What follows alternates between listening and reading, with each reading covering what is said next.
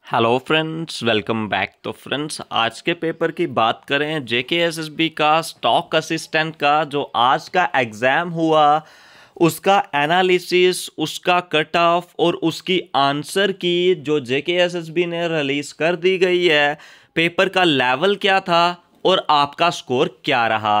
जितनी भी category wise आपका कट ऑफ़ भी हम इस वीडियो में डिस्कस करते हैं। जो भी इसके रिगार्डिंग आपको परेशानी है या जो भी दिक्कत है, वो इस वीडियो में हम पूरी डिटेल में उनको लेंगे। चैनल से फ़र्स्ट टाइम जुड़े हो तो सब्सक्राइब ज़रूर कर लीजिए। अब चलते हैं हम इसका कट ऑफ़ पे बात करते हैं। और आंसर की जो J K S S B का स्टॉक असिस्टेंट का एग्ज़ाम हुआ, उसकी आंसर की भी रिलीज़ हो चुकी है और उसका एग्ज़ाम जो आया हुआ था, वो दिखाता हूँ। तो जे आ जाएगा आज का एग्ज़ाम। तो जहाँ पे देख सकते हैं हम, जो भी, जो पेपर था, जिस पेपर में रीजनिंग, इंग्लिश, जीएस और सब टॉपिक आपके कवर थे, ठीक है? यानी कि परसेंटेज को लेके, उसके बाद जो mensuration L C M H C F based dice वाला भी जहाँ पे टॉपिक आया है उसके बाद देख सकते हो सिंप्लीफिकेशन का कंपाउंड इंटरेस्ट का एल्जैब्रा का और क्वाड्रेटिक इक्वेशन का। साथ में ट्राइंगल बेस जो आपके क्या रहे हैं इंस्क्राइब्ड सर्कल रहे हैं और पाई चार्ट बेस भी आपको आया, यानी कि डाटा इंटरप्रिटेशन का भी आपको सवाल आए हैं। उसके बाद पॉलिटी के क्वेश्चन आप देख सकते हो। पॉलिटी के जहाँ पे क्वेश्चन आए हुए हैं। पॉलिटी के बाद रीजनिंग तो आई ही हुई है। रीजनिंग की कोई दिक्कत नहीं। कंक्लूजन स्टेटमेंट बेस्ड क्वेश्चन आए हैं। वर्क टाइम ये तो सिलेबस में मेंशन था आपका। कुछ जो थे, जो सिलेबस में मेंशन नहीं था, ठीक है? वो भी आपका जहाँ पे आया हुआ है। जैसे कि बात करें हम, जैसे ये आ गया स्टेट लिस्ट कॉन्क्रेंट लिस्ट, ये आपका क्या हो जाएगा? पॉलिटी हो जाएगा। उसके बाद क्यूबरंटो पॉलिटिक इकोनॉमिक्स इनकम टैक्स वाला हो जाएगा, ठीक है? तो ये आ जाएगा और करंट अफेयर जो भी इसका आया हुआ है, ये बाहर का थोड़ा आया हुआ था एक क्वेश्चन इसमें, और रेवोल्यूशन के अकॉर्डिंग ये पूरा का पूरा क्वेश्चन आपका आया हुआ था, ठीक है? पूरा क्वेश्चन पेपर आप देख सकते हो, पूरा क्वेश्चन पेपर आपको मिल जाएगा जो आज का पेपर रहा, ठीक है?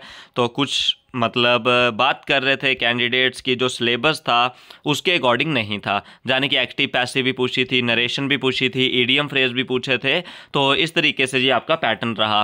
तो इस पेपर को देखते हुए यही एक पेपर लेवल तो पेपर में जो पूछा गया है, उसमें जैसे जीएस था, वो मतलब अकॉर्डिंग टू सिलेबस नहीं था अदरवाइज़ उस क्वेश्चनों को देखें वो आसान थे। मैथ्स इसमें काफ़ी मतलब अच्छा था रीजनिंग भी अच्छी थी टाइम टेकिंग थी, और इंग्लिश भी इसमें काफ़ी मॉडरेट लेवल की थी। जीएस थोड़ा सा हल्का था, लेकिन वो भी सिलेबस के अकॉर्डिंग नहीं था। और जिसके कारण ये पेपर ओवरऑल बात करें, आपका मॉडरेट से लेके टफ कह सकते हैं इसको इजी नहीं होगा। ठीक है? तो अब देखिए, इसमें सबसे पहले तो इस जैसे पेपर में आपने नेगेटिव से बचना था। अब बहुत सारे कैंडिडेट्स ने इसमें जो भी अपनी अटैम्प्ट दी, वो आपने बतानी है। और आपकी अटैम्प्ट कितनी रही और आपके अकॉर्डिंग पेपर क्या था?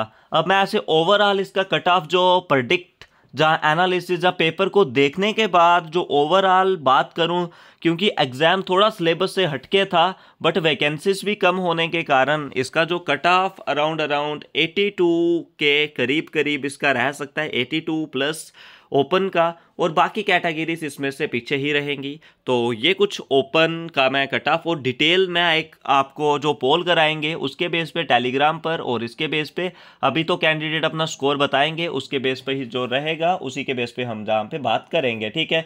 तो एक दो दिन तक आपको कंप्लीट एनालिसिस होता हुआ इसका पूरा का पूरा जो क्या आ जाएगा आपका, पूरी की पूरी आपका जो कट ऑफ़ है वो सामने आ जाएगा, जो भी एनालिसिस अच्छे से होगा, अभी एग्ज़ाम हुआ कैंडिडेट अपना स्कोर बताएँगे और अच्छे से अपनी जो डिटेल्स है वो फिल करेंगे कि इतना इतना उनका स्कोर हुआ है अकॉर्डिंग टू आंसर की।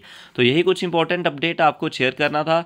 और आज के इस वीडियो में बस इतना ही। कुछ भी डाउट्स हों और कमेंट सेक्शन में ज़रूर पूछें। वीडियो में इतना ही।